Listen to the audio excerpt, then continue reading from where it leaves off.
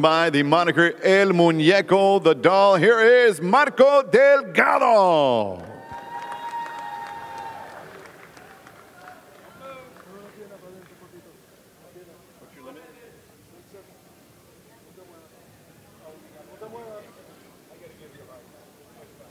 One seventy-three point eight. 173.8 Delgado, 173 and three corner in this 175 limit. Next, his opponent making his professional debut tomorrow night. He hails from Ireland. Here is Joe Ward.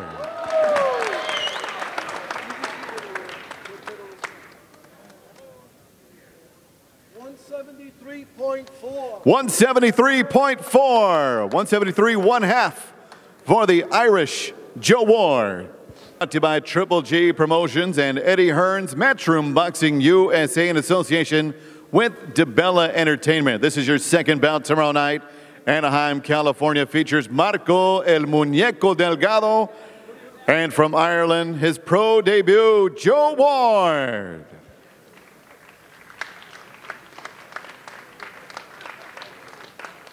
Right, guys, good luck to both. Good luck.